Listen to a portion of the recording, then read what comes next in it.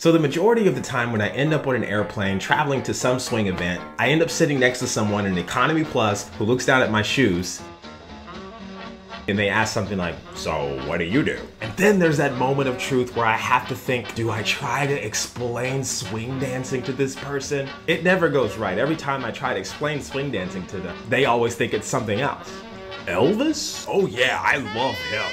Uh, then after throwing him a couple of softballs, brilliant me sits there and tries to explain the music. More like uh, kind of like vintage jazz music.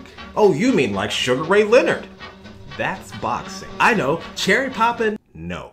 When you first get into Lindy Hop, your excitement level is super high, but your knowledge is really low. Probably got in because you saw some people dancing outside, you saw a performance on YouTube, or you saw something that triggered an interest to get involved, but then your ears weren't really trained to determine what is really swing music. Swing music is one of the biggest styles of jazz that infiltrated the ears of every American and subsequently people from all over the world. The music is powerful in itself. There's so much depth there. I can't tell you the last time I've listened to the radio and just went through and thought, man, this is so much better than Count Basie no. But what I can tell you is when I first got into Lindy Hop, when I started to listen to swing music, it was a little difficult to figure out what it was that I liked so much that initial time. This is important stuff to know when you run into someone on an airplane. You want to be able to know about Count Basie, Benny Goodman, Chick Webb, Sidney Bechet, Billie Holiday. These are like the foundational artists who make swing what it is. And their music continues to live throughout generations. And in fact, most of the swing music that we play today is based on the music that they created way back in the the day. So what I've done is I put together a list of swing music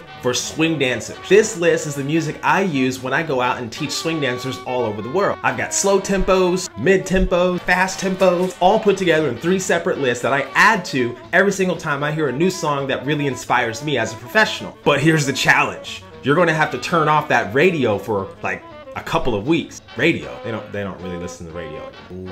On whatever electronic device that you use. And then what you need to do is start listening to swing music on a daily basis. Here are a couple things that are going to happen. You're going to find new songs that you really like. And there's certain emotional cues that you're going to be gravitating to as you listen to it more. You're going to find out you like the trumpet, the clarinet, trombone, saxophone. But you'll never discover that until you start listening to swing music. The second thing that's going to happen is your sensitivity to good swing music is going to go up. More hours you listen to swing music, music, more time you spend dancing to it, the more sensitive your ears are going to become to what's really good swing music and what's once your awareness has been expanded, it's going to be very difficult for you to go back listening to the old music that you listened to and try to Lindy hop to that. I say this because swing music in itself is so powerful. It's multi-generational. A piece of you will be able to tap into the mentality of the people who created this music at the time when there was war going on. And out of the greatest struggles, we have some of the best music. Think about all the artists in the past, your favorite ones, who are either dead or alive, usually have some type of pain element that pushed them to create incredible music. Now everyone has pain, but they don't call it the greatest American generation for nothing.